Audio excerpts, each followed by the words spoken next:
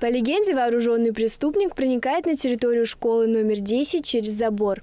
Какое-то время он движется вдоль школы, охранник замечает его и нажимает тревожную кнопку. Наряд прибывает через несколько минут. Стоять, работает Росгвардия! Бросай оружие! Бросай оружие!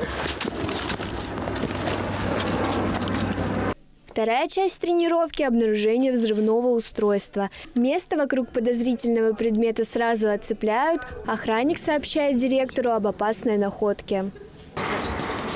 День. Беспокоит 10-я Видновская школа. У нас учебная, ключевое слово, учебная ситуация обнаружения взрывного устройства. Объявляется эвакуация, и все организованно выходят на безопасное расстояние от школы.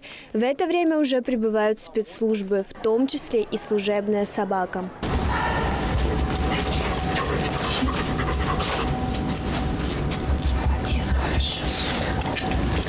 Все э, и дети, персонал на самом деле относятся к этому мероприятию трепетно. Э, все отрабатывают и понимают необходимость, нужность и правильность отработки именно учений при таких действиях. На мероприятие были приглашены заместители директоров по безопасности образовательных учреждений нашего округа.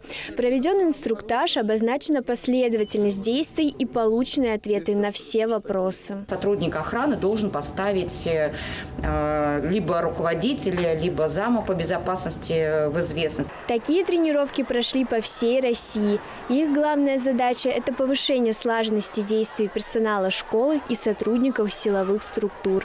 Олеся Мордвинова, Кирилл Иванов, Екатерина Давлятова, Видное ТВ.